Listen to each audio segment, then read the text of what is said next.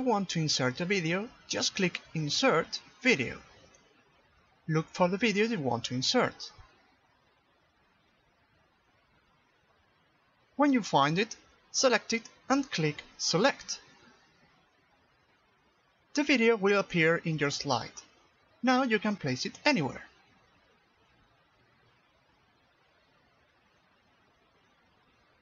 You can change some settings such as size, rotation, position, and you can even add a drop shadow.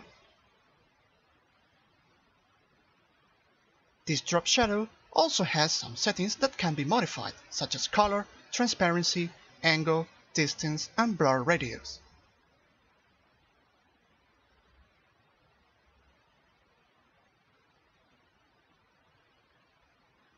When you're done, if you want to check that everything is okay, enter the presenter view and just hit play.